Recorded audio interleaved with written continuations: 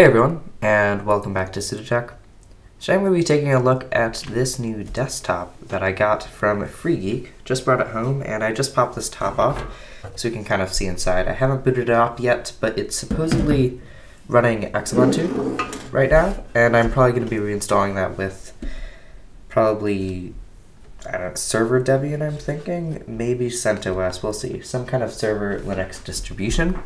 I actually picked this up at the Free Geek in my area for $10, which is a pretty good deal. It was initially 40 but then they had this sale going on to try to clear some older desktops that were cheaper out. So it's down to 20 and then it turned out that the audio back here,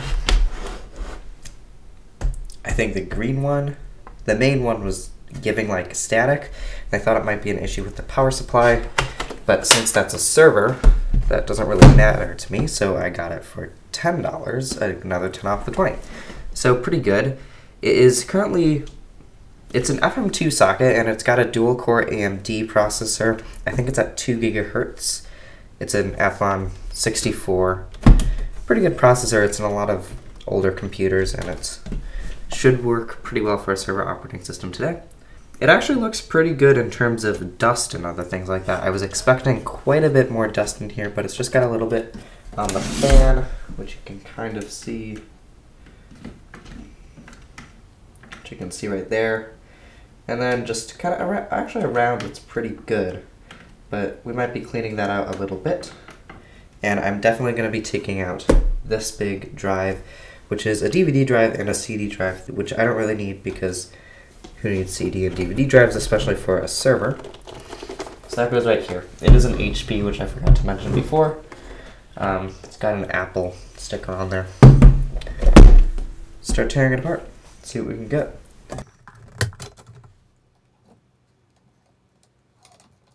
So I'm taking off the one fan in here, only one fan for this little processor and just comes out pretty easily. No screws required. So there we've got the heatsink, of course.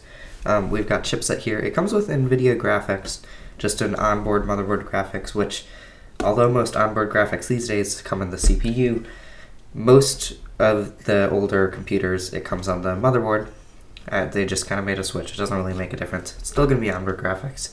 Still going to be pretty awful, but we're not even going to be running a GUI with this, so it really doesn't matter. Now, I think this base should just come out with some screws. So I'm going to take out this. I actually have a 500 gigabyte hard drive that I could hook up to this, which is a IDE one. So that should work just fine. There's also, I think, an 80 gigabyte hard drive in here with the Xubuntu installation, and that's plugged in via SATA with a Molex power.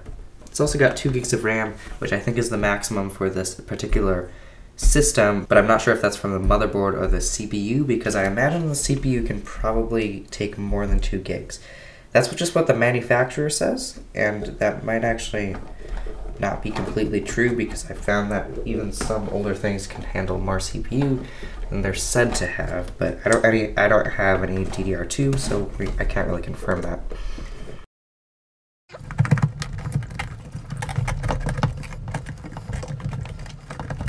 Okay, so the optical drive is coming out pretty easily. Just a pretty standard one. Might use this somewhere else if I ever need an optical drive, but I don't right now. So I'm going to try to get this Molex connector unplugged.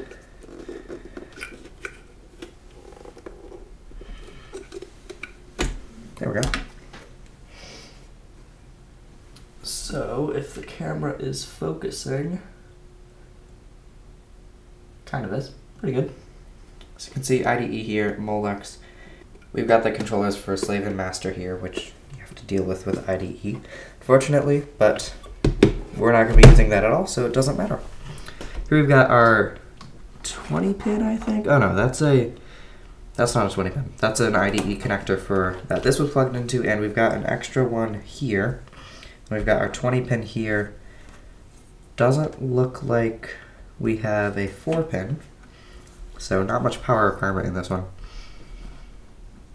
And this right here is a PCI slot, not a PCI Express slot, so it won't be able to take the graphics card that I currently have in my other computer, but that's not a big deal either. We will be able to get some expandability for something like more SATA ports or something like that if we need that in the future, because I'm thinking of maybe using this space over here for more hard drives.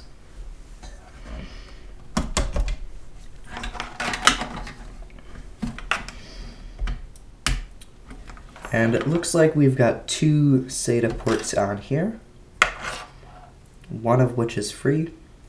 And then of course, we've got the two IDE connections here. I think I have an older IDE 500 gig, so I might use that. Let's just cut this all out so that we can see what's inside.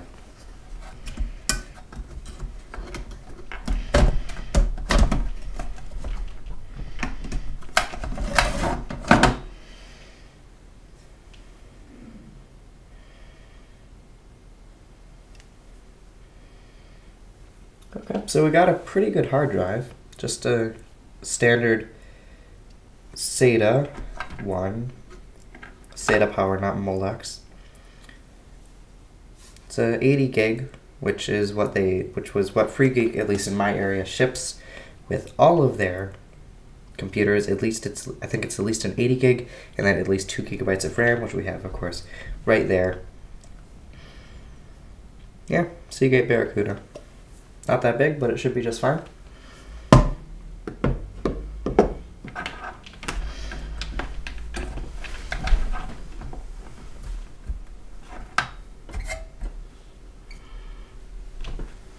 Okay, so that's kind of it. Now you can see it all.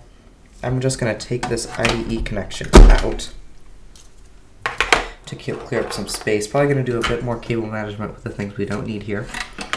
Um, these just go to the front panel, it looks like, which, by the way, has some very, of course, useful ports. Everyone who needs compact flash will love this computer. And it actually has Wi-Fi as well. Looks like the Wi-Fi card's kind of jammed right up in here. And then I'm not sure where it connects to. Looks like it connects here to get power and to connect to the motherboard. I was hoping that it might have a PCI connection that we could repurpose to something else, but it looks like it's just jammed in there.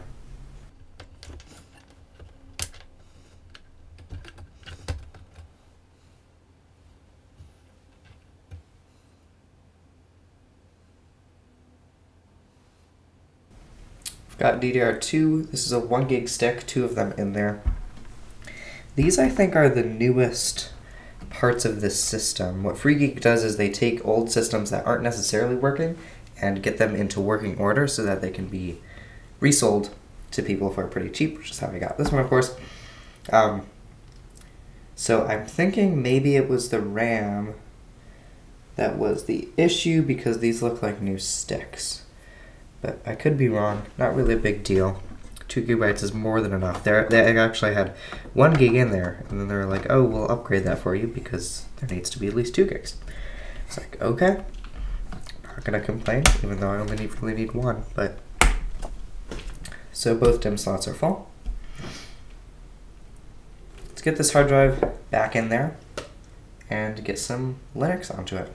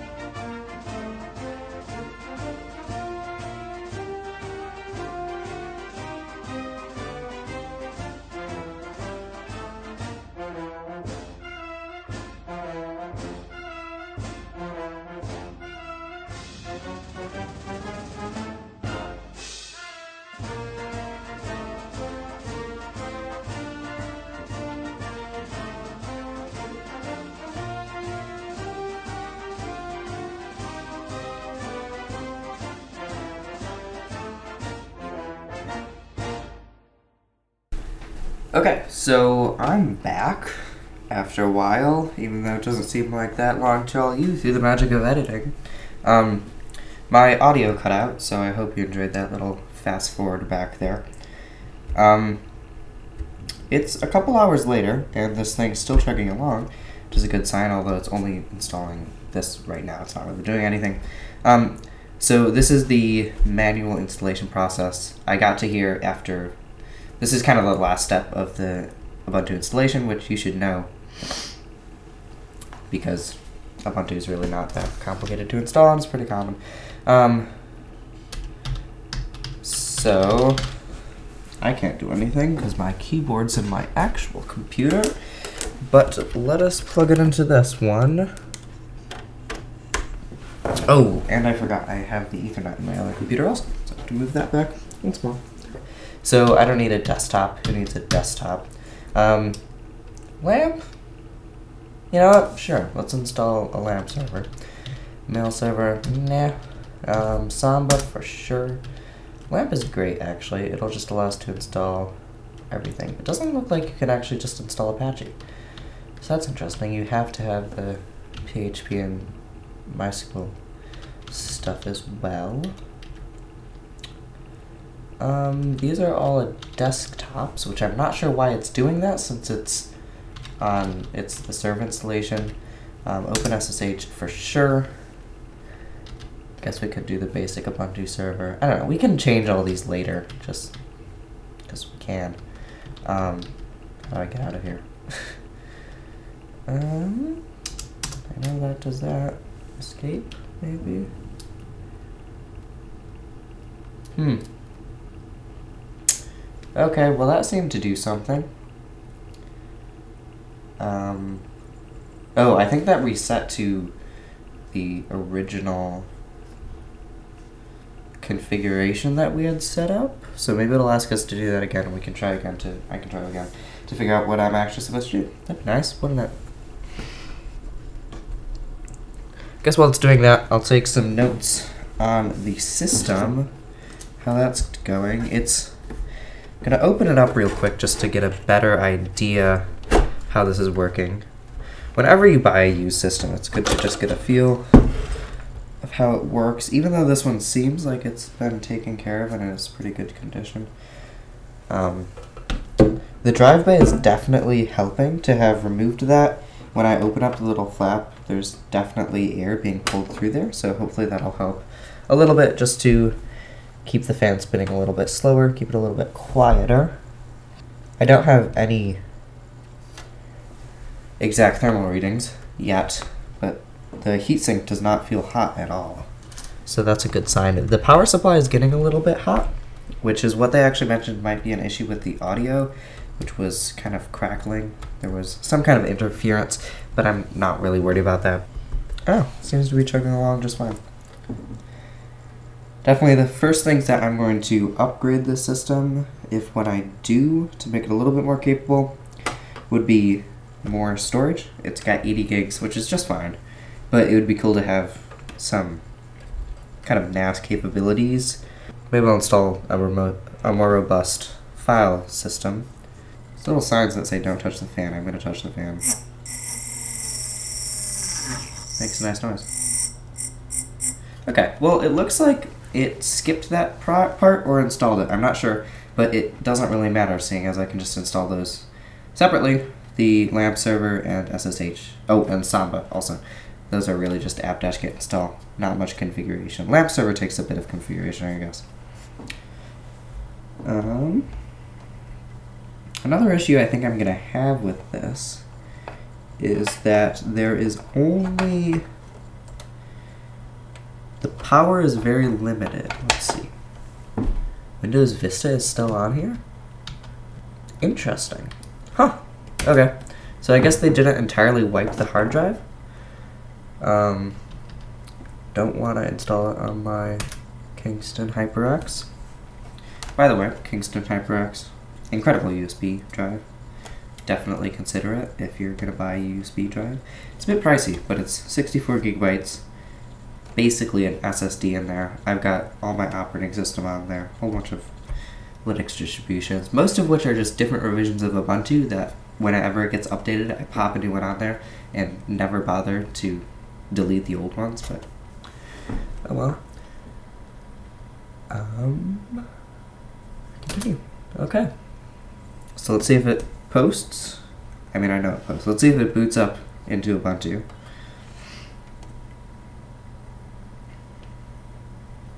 I don't see why it wouldn't.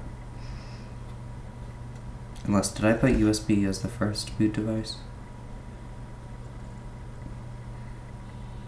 Looks like I didn't.